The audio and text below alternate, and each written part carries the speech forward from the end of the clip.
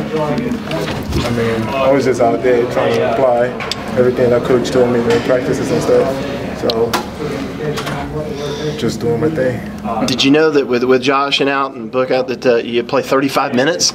Not really. I thought um, we was we were going to alternate between me, um, Bernard, and Milt, but it ended up being me playing 35 minutes. It was kind of hard, but got through it. Um, what do you think you did? I mean, how did you think you did? I mean, 14 points. Uh, like you did well on the boards. You looked like you defended well. Can you tell me how you thought you did? I think I did pretty well on the um, defensive end, but I mean, really rebounding is like kind of my, I would say, ability, but I didn't really get on the board. I think I only got what like three boards or something like that. Yeah, I kind of got to improve that area of my game, but overall, I think I did pretty well.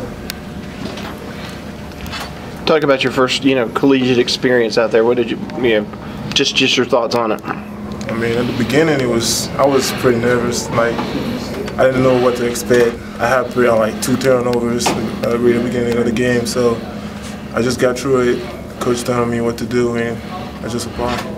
You didn't look nervous. You looked pretty calm and collected out there. Was it nice to come out and get those early points? Yeah, he was. He really was. He helped me a lot because, I mean, like I said, I was a little bit nervous, but when I got those points, he helped me kind of got um, my motor go- going, and yeah. I believe you finished tied with as many points as anybody in the game. Does that give you some confidence? Um, yeah, I guess.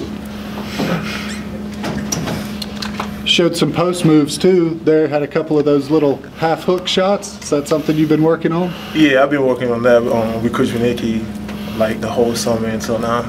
So I had to do it and apply what he taught he, he taught me. Now, what do you think you, you need to improve on after this first effort?